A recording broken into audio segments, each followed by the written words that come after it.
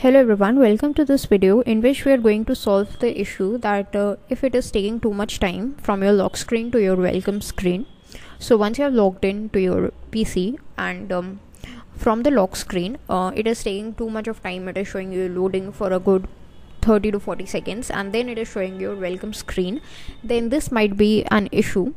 So that we need to solve. Okay. So we are going to discuss the solution in this video. So stick with me till the very end of the video.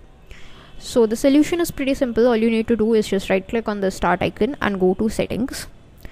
In the settings, uh, you need to go to personalization. Now this would work for Windows 10 and Windows 11 both. In case of Windows 11, you might see a bit different options, but they just would be same.